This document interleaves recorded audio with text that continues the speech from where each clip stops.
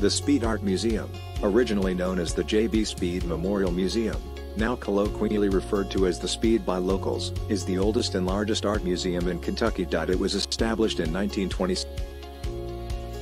Tell me something about The Starry Night by Van Gogh.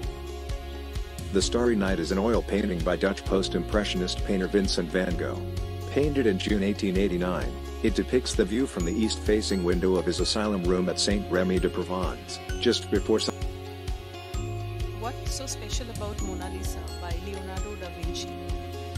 He made images at greater distances hazier, producing the illusion of profound depth. And with sfumato, he created subtle gradations between colors that softened the edges of the forms he depicted. The painting is in oil on a poplar wood panel, and is believed to have been painted between 1503 and 1519.